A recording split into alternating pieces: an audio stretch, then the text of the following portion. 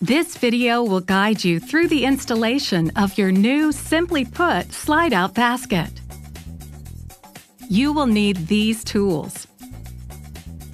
First, make sure your package includes all these components. Now, place the frame into your cabinet at the desired location. Make sure the frame is positioned at least 1 and 3 quarter inches from the front edge of your cabinet. Mark the four holes in the sliding system, then remove it from the cabinet. Next, using a 1 16th inch drill bit, drill four pilot holes on your marks. Attach the frame to the cabinet with the four screws provided. Now, place the basket on the frame with the bottom two horizontal wires at the back.